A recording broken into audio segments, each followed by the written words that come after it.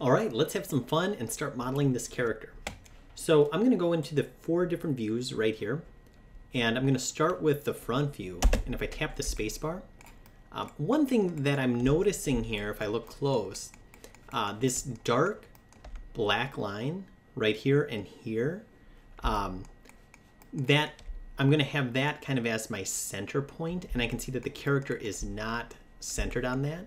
So what I want to do, um, I'm going to have to unreference this, and I'm going to select this. I want to make sure not to move this up or down because I know that it's a it is aligned, but I can move it sideways.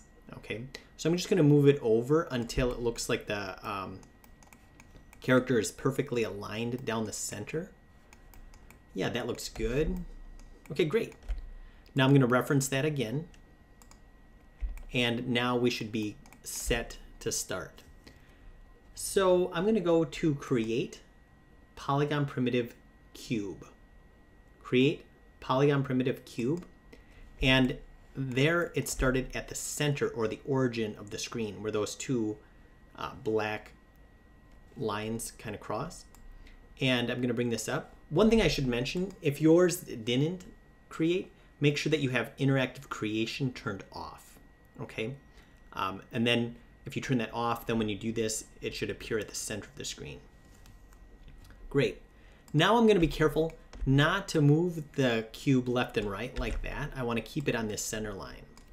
And in fact, I'm going to just scale it up from uniformly from the center like that.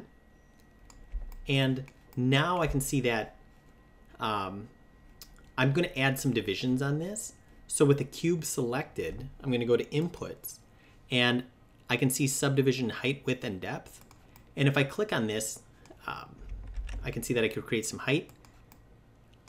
Depth I can't see because that's from the side, but if I go to width, notice I'm clicking on the label and then I'm going to middle mouse drag and go like that.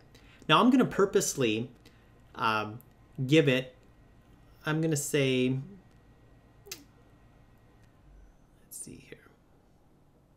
Yeah, I definitely want a center line like this. So I think I'm gonna I'm gonna give it four subdivisions. And you can see that that means three lines. It's actually dividing it one, two, three, four. That's what it means. Um, and that looks good. Okay, that's a good start. Now I'm going to right click, go to vertex, and I'm to drag these bottom vertices down here. I'm to drag the top vertices up here. And you can see that I'm starting to model the torso.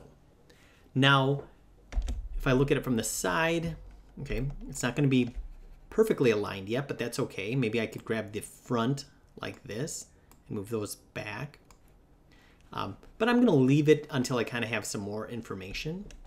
So if I go back to the front, now if you already have a shelf, feel free to use the tools that you have. But if you don't have a shelf, I'm going to show you once again how to create that. So if I go here, I can go to new shelf and I'm going to call this character. Okay, great. And you can see that my shelf is currently empty. If I want to add a tool to the shelf, I can go like this. I go to mesh tools and a couple that I will be using will be insert edge loop okay? And I'll also be using extrude. I can see that extrude is in this menu. So if I wanted to add that to the shelf, I could hold down Control Shift and click on extrude. I can see that it's now added. And if I go to Mesh Tools, Insert Edge Loop, I'm also going to use that. So I'm going to hold down Control Shift, click on that, and now that's added to the shelf as well. So now I could instead of trying to hunt through these menus, I could simply click on the icon up here. So if I click on that, now I'm in my insert edge loop tool. And if I click on an edge, I can move it up and down. And what I'm looking for is kind of the most kind of discrepancy between my image and my shape. And I can see maybe right here is kind of the thinnest part. So maybe I put that in and now right click, go to vertex, grab these vertices and then scale in with the red handle like that. Hey, there we go. That looks better, right? Um, notice that I'm keeping the center line down the center of the character. I definitely want to do that. And then it might look weird down here, but I think what I want to do is I want to move these in to be the inside of the leg.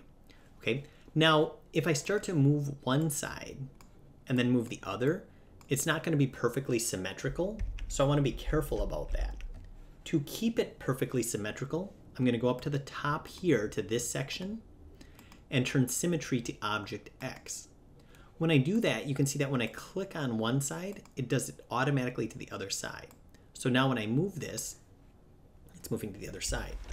And you can see that it looks weird when I move this. It looks like there's kind of, stayed back. Well, what what's actually happening, don't forget that we have a three-dimensional shape that we're looking at. And when I move this, this front one's moving, however, this back one is not. And because we have this in x-ray mode, we can see that.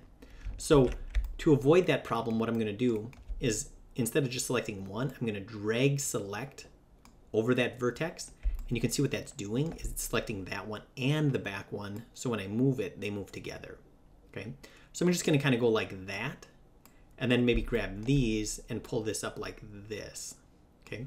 So you can see what I did. I created an area here and here that we're going to start the legs from. And I'm going to then take a look here. Now, with the very few things started, I'm going to go ahead and just kind of push this. So I'm going to drag over this, push that back, drag over this, move this forward. And, you know, don't get too hung up on it looking perfect right now. I feel like um, it's looking obviously very, very boxy, uh, kind of weird right now. And that's okay. It's going to. And we're better off to have minimal kind of splits at this time than to have too many. All right. Um, looking good from the front. If I look at it from the side, after moving these in place, I'm going to go ahead and insert an edge loop here because that's kind of the biggest discrepancy. And now I can go to vertex and move this out and grab this and move that out as well. I might also think maybe I want that line here to kind of be at the armpit, more like that. There we go. And then make that a little bit wider. Excellent, excellent. Okay, good. Yeah, now I'm, I'm, I think we're starting to kind of fill out this form. Maybe I could put another edge loop right here. And then scale that in just a little bit. And then here, um, you know, it's okay. I could maybe rotate this. Kind of push this back like that. And um, maybe on this one, I could maybe rotate this one as well. I'm just trying to keep it with, uh, you know, kind of the shape of the body there. Maybe this one rotate slightly.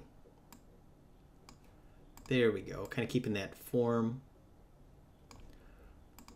And maybe even this one, maybe go to select all these vertices and kind of rotate this slightly that way. Yeah, there we go. We're getting kind of that nice flow through the body there. Might look kind of weird from the front. Bring that in. All right, so that's a great start to the torso. In the next lesson, I'll show you how to kind of build off of that.